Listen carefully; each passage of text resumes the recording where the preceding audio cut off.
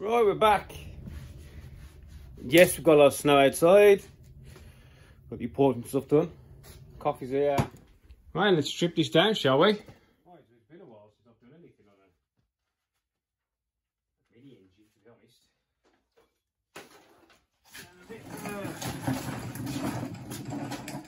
Right, really mess with them. So I suppose we'll get some screwdrivers. Jesus. This is quite a should really do because just everything's just jammed on there and hope for the best. Oh my days. How long has that been on there? Longer than a week, I tell you that, boys and girls. Longer than a bloody week. Get out, yes, sodding thing. Oh, it on. Come on, so I don't want to take that freaking housing off, because you know, I take that off. Them studs, are going to want to snap off in here, aren't they? Yeah, I know that for sure.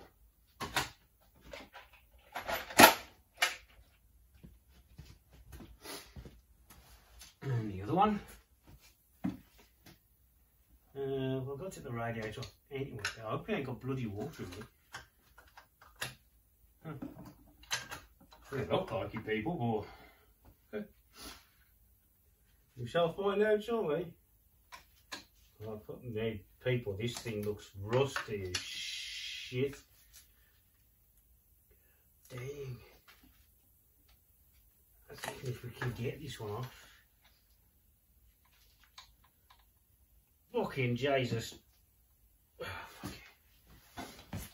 Leave that hose on there, shall we? See, these bloody mini things, man.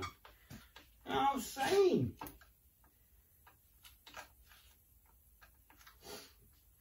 Oh dear, oh dear, oh dear, oh dear. There's something dripping. Something dripping. Get a try it, shall we? Yeah. Where's this one?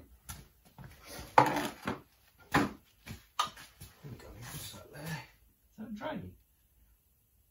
Is drain, people? Does anybody know? I don't know, so...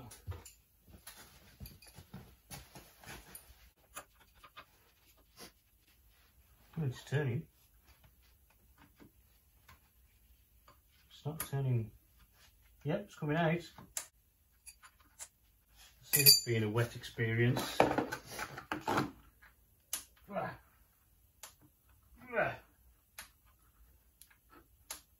Bloody Jesus. That's stiff. Yeah. Yeah. Water down with the best people.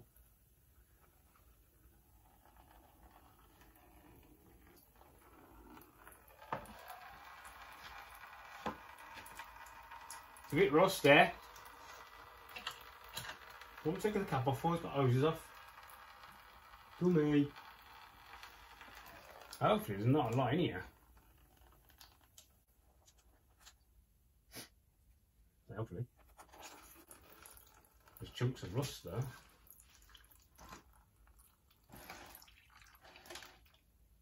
Hmm, that's it. Ish. God, that's, that's what you call rust. Is it is.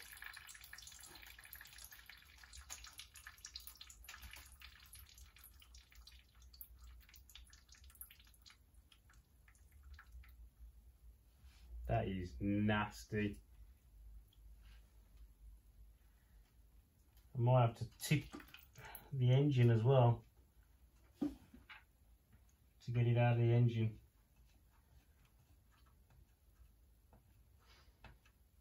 Damn. Yuck, look at that. Minis. Bloody minis.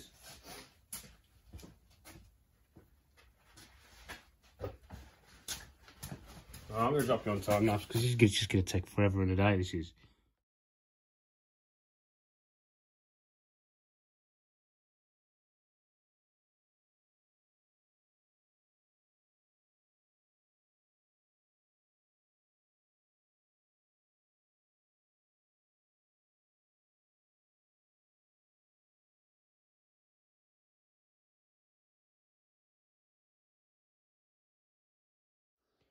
Right, it's in people. Just uh, tightening down the, uh, jig things. Went on there easier than I thought to be honest. I thought it was going to be a bit of a game, but yeah. not too bad.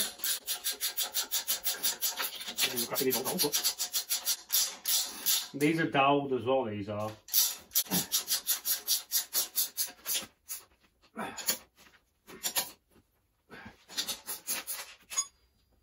Time for my dinner, hang on, I'm starving. I had a bowl of cereal so far.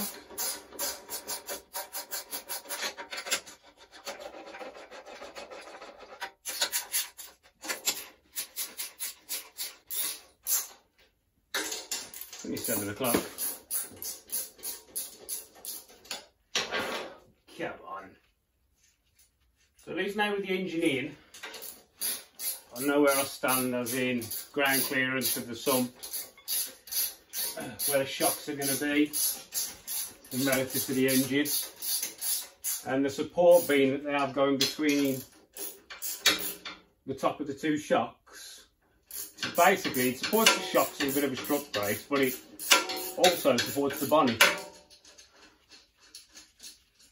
So, I've got something to work to.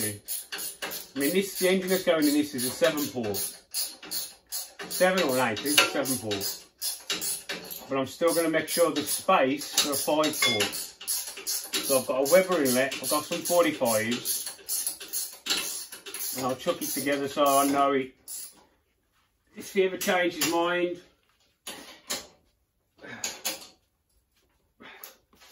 the option is there. Do you know what I mean?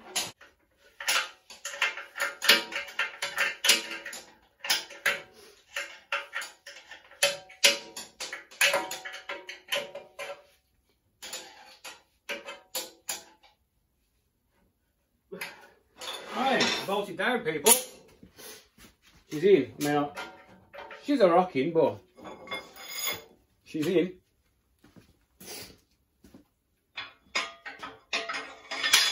So now, I know engine position, don't I? Bloody sniffing. Yeah? I know the engine position.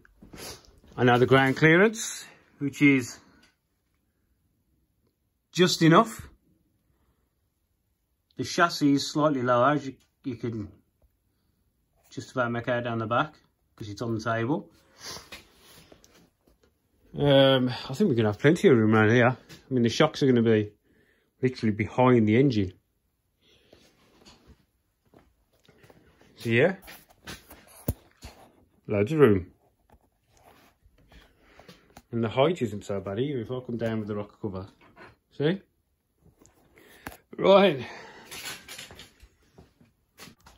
Right people, so we have an engine in the frame, frames down on the table, square and straight with the chassis. We've got some running gear on there. We've got an LCB, which is just off the table. Well, she's probably now just kissing, but the engine is still free. I've dropped one of my Webers on there. Now this car is going to have a five port, no, a seven port, I think, or an eight port. So I'm not sure, but I'm thinking I'd like to see if I can still make it run a five port in case somebody decides they want to change. Right, so that's something we're going to have to take into account because my shocks are here. Which is quite lower than that. So we're going to have to come up and either up and over the complete Weber if I put the bar behind. But I won't know. I mean, I know you can get these a lot lower down manifold than this. This is quite a high manifold. So if you went to like Bag Sport, he makes them. They're pretty much level. The main thing is we've got to get the rocker cover square so the engine square. Suspension, this is different hubs. I couldn't get the drive shafts out of them, Hardy Spicers. And I've centralised the shaft in the CV joint. That is set at ride height. So the shafts have got a nice angle to them. We are about an inch off my table. Yeah. So it can probably come down another inch. But we're going to start getting close to the top arm. I mean, I know once this, this has gone, to get that up to there is, you know, it's quite a, a dramatic angle. Yeah? So it's in anyway, and it's on. So the drive shafts are at a nice angle. Subframe's nice. Right. So yeah, it's there, it's ready. Now I need to start building this back end. So we can get this actually braced up to this. And I've got the Weber in there so I can make sure that if I run any bars at an angle, we try and go around it. If not, it's just not going to be able to run a Weber on the back. It's just going to be five port only, seven port even. So ideally you want to come to here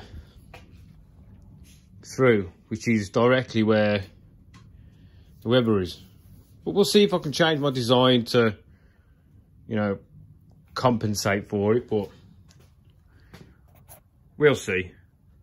Yeah, because if somebody ever wants to go a turbo, put a turbo engine in, the car comes out the back anyway. I'm going to call it off here now. i got to go in and have some tea and yeah, that's a quick update. And we'll uh, probably crack on tomorrow-ish maybe. Try and work out some angles for the shots. Right, thanks for watching people. See you later.